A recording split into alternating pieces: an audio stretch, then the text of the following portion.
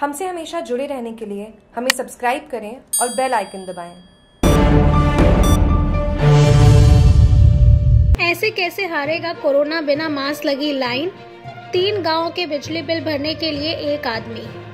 एक तरफ़ देश में कोरोना वायरस से हाहाकार मची है, वहीं दूसरी तरफ़ सरकार रोज रोज नई गाइडलाइन को और कड़े नियम करते हैं। मगर ग्राम पंचायत नगानी में आज बड़ी लापरवाही देखने को मिली।